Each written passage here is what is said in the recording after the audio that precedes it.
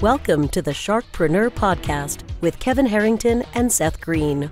Kevin Harrington is the inventor of the infomercial, one of the original sharks from the hit TV show Shark Tank, and has generated over $5 billion in TV and digital direct response sales. Seth Greene is the world's first trusted authority on cutting edge direct response marketing, a best selling author, and the only three time Marketer of the Year nominee. On the podcast, Kevin and Seth interview sharkpreneurs who share straight talk on what it takes to explode your business. Why do so many businesses struggle while others seem to explode overnight? Do you wish you had the secret to this type of exponential growth?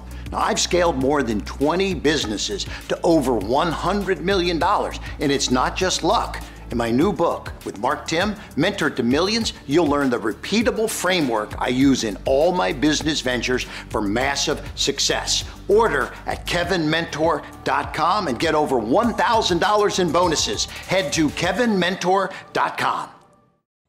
Welcome to the Sharkpreneur Podcast. This is your co host, Seth Greene. Today, I have the good fortune to be joined by Richard Brock, who CRM Magazine has called the father of CRM. Richard pioneered the Salesforce automation space by starting Brock Control Systems, which became the leading provider with a 15% worldwide market share of web based CRM applications. In 93, Brock was the first CRM company to IPO, and in 2002 was recognized as the best performing stock in the US by CBS MarketWatch.com. Richard, thank you so much for joining us.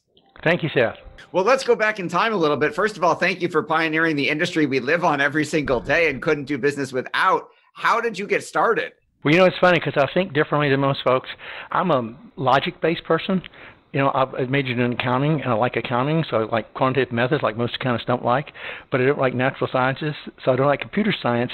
But I got into the software business because it was all logical and I got into the CRM business because no one was actually writing anything down.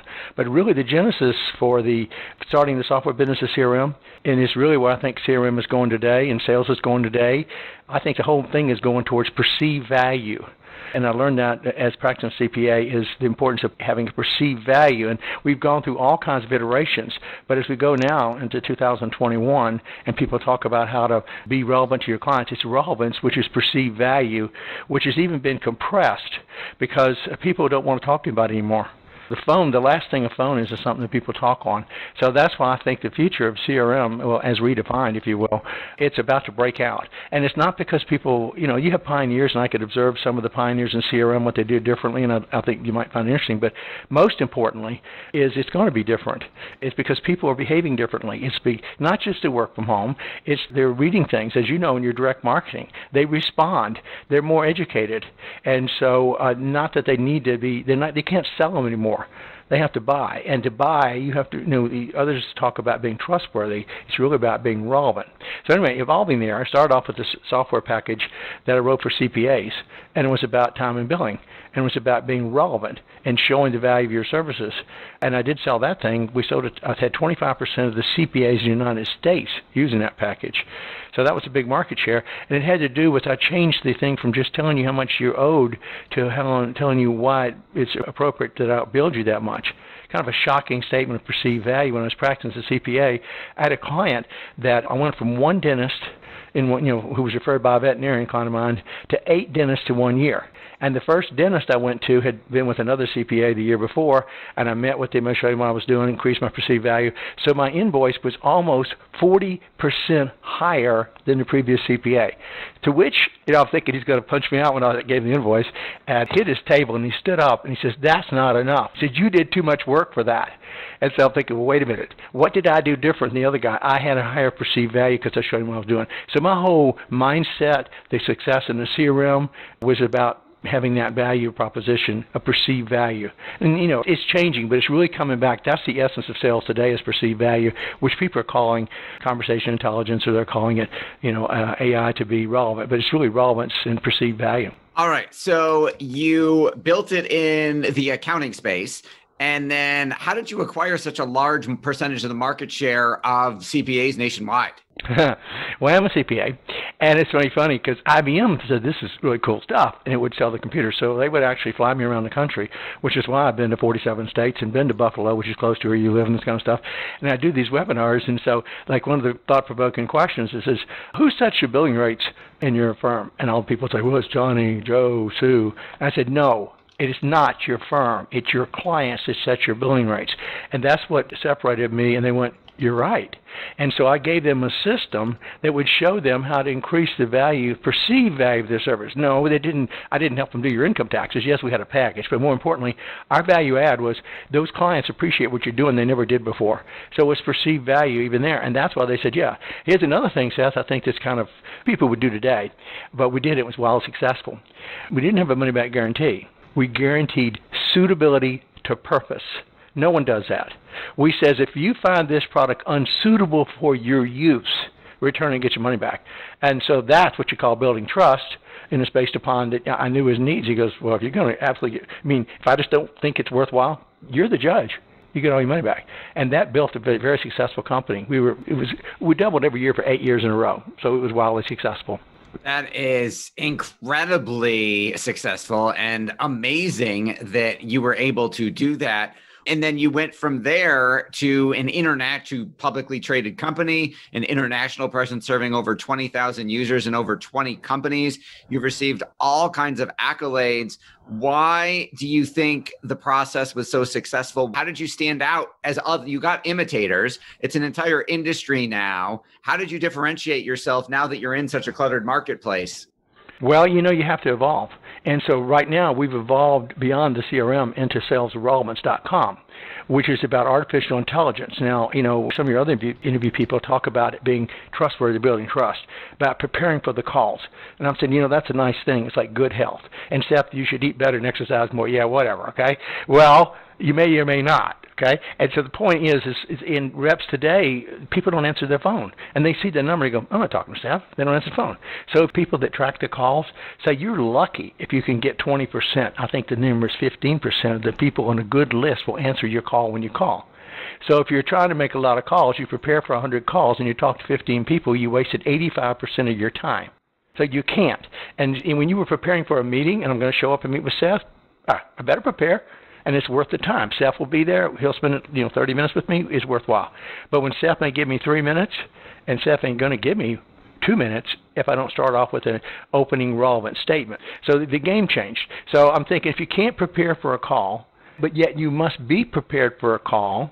And I know you in the in the marketing space know about like we use Zoom Info, and Zoom Info has all these persona stuff. And so I'm thinking an opening statement has to be relevant to you. Different titles, different industries, different size. And so that's how we differentiate. For example, if I'm selling to market leader, I say, you know, you're tired of those little wimpy funded, VC funded people that nip at your heels, right? And he goes, yeah, brother. But if you're a market challenger, you say, you're tired of those big guys, those big budgets, and they step right on top of you, they crap your product, crap your support. And he goes, right. So you must be relevant. You must relate to them. And you can't. So we're using AI and the information from Zoom Info and others to have a personalized opening statement and to maintain that relevance. So it's evolved. The whole thing evolved. And the internet did it, if you will. And work from home made things even escalate even faster. Okay, so tell me a little bit more about how salesrelevance.com works. You're populate you're making it crm on steroids right? Tell me a little more. Well the first thing we do is we recognize that crm has become a system of record. And you know to the uh, other people they've established that like ceos love it because it does the reporting it keeps the board happy. It doesn't make any more sales but it keeps the board happy because the forecasts are accurate etc but all the people including like neil rackham one of the pioneers of the space said crm has done two sales reps. Crm is, is going to stay okay now working with hubspot that's a challenger to salesforce Okay, Siebel is now uh, part of Oracle and it's gone. So CRM will always be there, but it's a system of record. It doesn't really make revenue. So we say that you know we plug into your CRM because you don't want to challenge the status quo. You challenge status quo, you're in trouble. Now we're just a CRM plugin, and we are. We add to those. See, so we add to what you currently have, whatever you use, or it becomes what you use if you don't have one. But we don't try to sell it as a CRM, even though I have the credibility for that, because you've made an investment, you have a contract, so we're saying we're an add-on. But what we're different in, okay, we are in a system of engagement, sales engagement, Now, here's the difference. See, some people like sales loft and other sales cadence systems, and that's one of the trends. And cadence was wildly successful the last several years because it addressed the discipline, the lack of discipline in, uh, in sales processes. But I'm thinking the, the new thing is about, they're talking about, you know, sales relevance that you need to be talking about what the people are interested in. So that's the next evolution. So the CRM sits in the background. It's like a bookshelf and you put your books on it, okay? And that's fine. But again, no one wants to put the books on there. So we're all about, because you're in the call, you're just clicking notes of what you're talking about, and we're updating the CRM more accurately than ever was before without you doing anything. And the reps go, I'm liking that, okay? And we create a call map that if you don't record your calls, and 40% of the people in the United States, you have to have permission to do it. I just did that stat. It's 35.6%, I think. So people are not recording the calls and certainly not listening to them. But a call map's invaluable if I'm going to pick up with you where I left off because I'm not relevant. You're thinking, wait a minute, you know, you didn't have the respect to remember what we talked about last time, and reps can. So that's why it's different. So we're redefining it as a system of engagement. Our product is focused when they answer the phone about establishing and maintaining relevancy. That's the difference. So it's not a cadence system. It's not a, you know, yes, it updates your CRM, but the real value is you're going to stay with me as long as I'm relevant and no longer. So you are feeding me the information I need to instantly to talk when I talk to someone where I have everything automatically in front of me. And you've gone beyond that. Talk tell us a little bit about what is an AutoMagic playbook? How are you helping us not only serve the information that we need to make the right communication, but how are you taking it to the next level with the sale with onboarding, training, and AutoMagic playbooks? Right. Well, the first thing is to have a an AI generated opening statement that's relevant to you because they say you have seven seconds before you hang up, okay? Now, the playbook. Now, here's the real dichotomy. Everybody's focusing on you have a, a playbook, but everybody says, well, it's only good for the new sales reps that don't know where, you know, they know the stuff. True. They need it more so, so it's good for training. But the problem with playbooks, if it has everything in it you might need, it has nothing you need in a given phone call or like 80% of what you don't need. Now, each person is different, each title is different. So the conversation, instead of a playbook, it should be a talk track, a guided conversation a guided dialogue that's based upon our previous conversations and the sequence that we, I should discuss them. Now, I may be, I may have written the talk, talking points. I may be the master and written 10 books on it. However, I'm going to be talking to you about what you're interested in. And I've talked to 100 people today, or you know, I'm going to talk to 100 people. I can't recall. So, and having the AI, the Magic Playbook, the Magic Playbook says we look at everything about you, and your marketing automation, what emails you open, what web pages you went to, how long you looked at things, how long you, we track how long you look at videos too, that's unique, how long you look at videos, your title, interest, and something like that, to come up with the things that most likely staff would be interested in in the sequence. So that's the AutoMagic playbook. It is, it is being relevant to you, and reps don't need it necessarily to know what to say, but they need it as a little guide down the right column of what would be good discussion points. That is absolutely phenomenal. What are some of the biggest mistakes that business owners and sales professionals are making when it comes to communicating with their clients and prospects that you're helping them solve? I think the biggest mistake people talk today about the show up and throw up is gone. And, and they make jokes about the whole thing is, can I have 15 minutes of your time to better understand your needs? Uh, no. you know, my needs.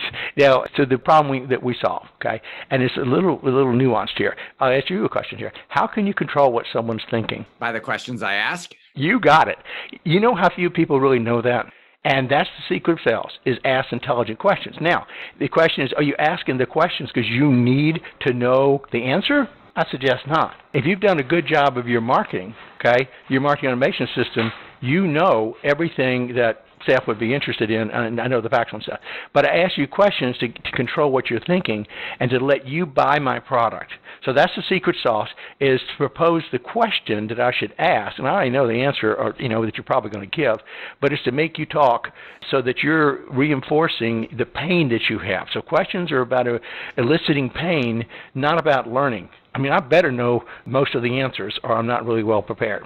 Absolutely. Now, you have accomplished so much. What do you think are some of the biggest challenges you've overcome, and what have you learned from them? Well, I guess um, it always goes back to you know being relevant. Okay, perceived value.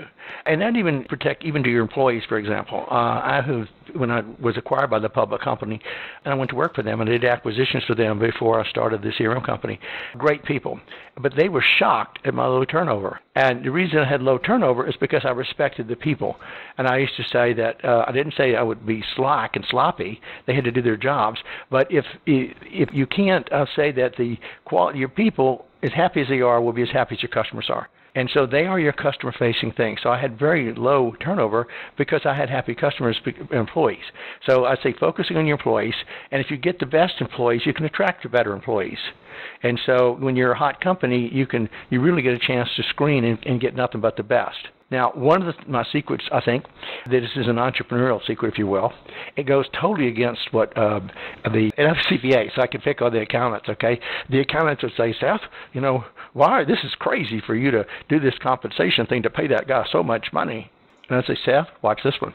Okay, so what I would do is I would say that uh, that all territories had to be equal, and then I would have variable compensation plans. And so if your quota, if you were going to make, let's just for numbers, $100,000 at quota, Okay, so you're and you, could sell a million. Let's say your commission's ten percent. So if you sold, you know, only half a million, well, your commission should be five percent. And You go, well, I'll starve to death, and you say, yeah, and me too. Okay, but then on the other hand, you kick it out. You say, I can make that. So you blow out your uh, a hundred million and a half. Your commission is a fifteen percent on everything you sold. And so I created a huge disparity between the sales force.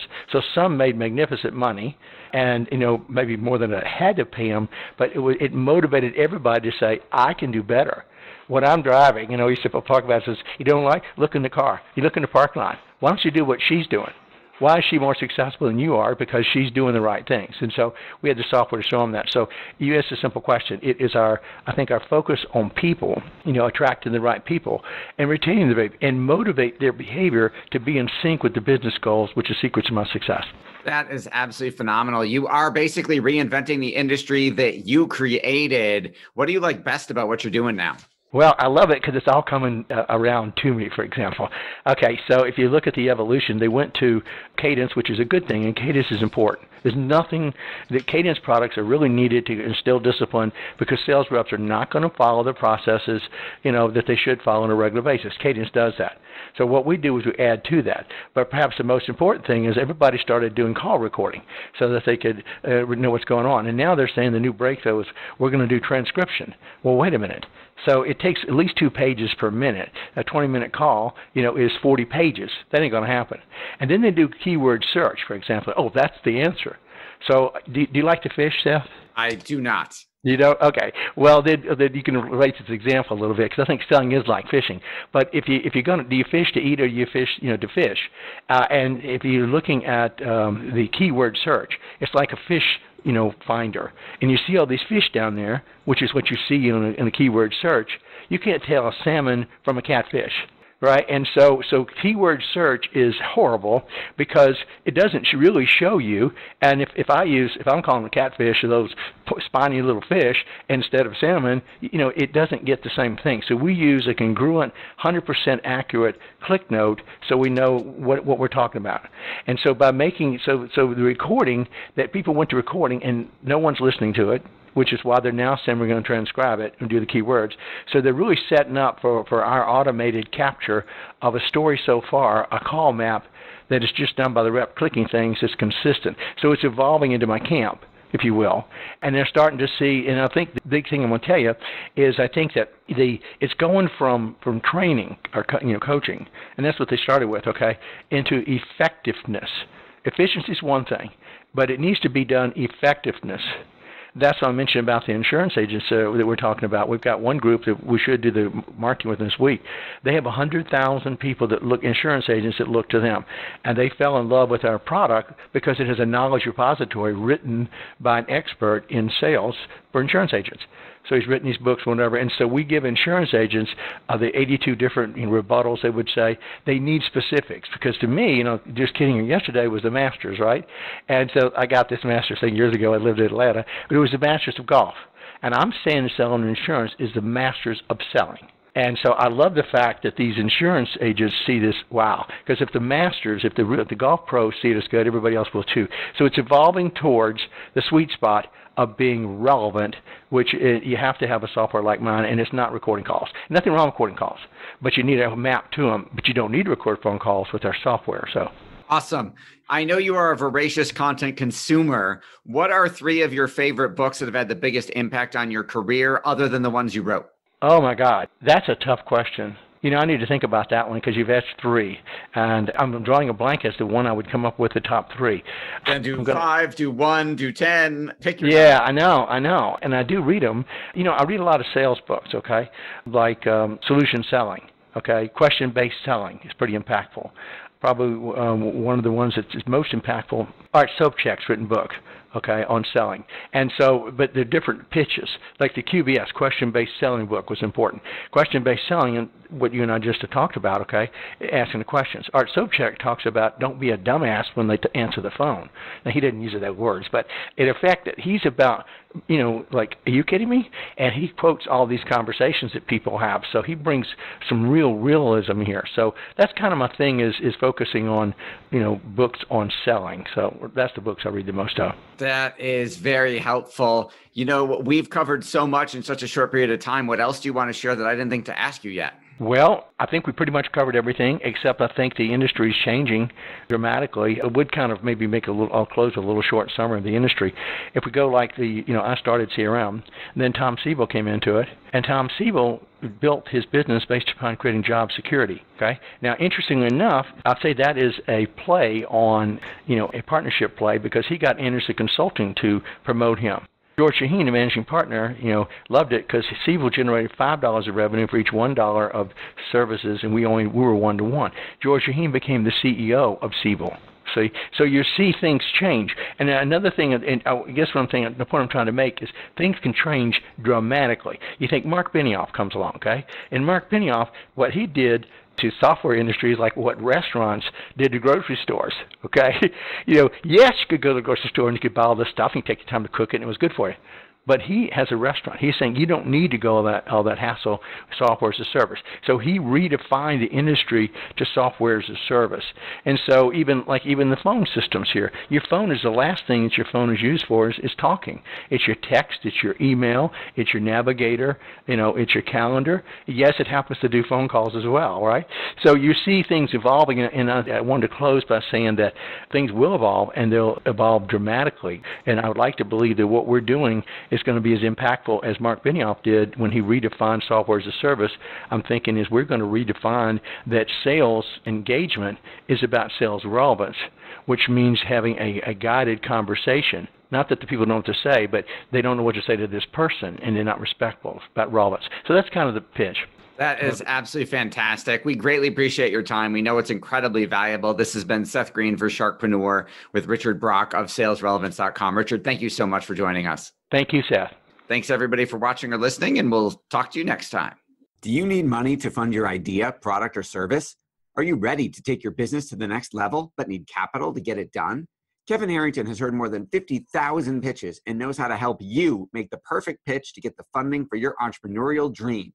He's distilled the process down in his perfect pitch cheat sheet, and it's yours for free. Just text pitch to him right now at 727 888 2100. Text pitch to 727 888 2100 right now and claim your free perfect pitch cheat sheet. Text pitch to 727 888 2100 to start funding your dream today. This show has been produced by Market Domination LLC.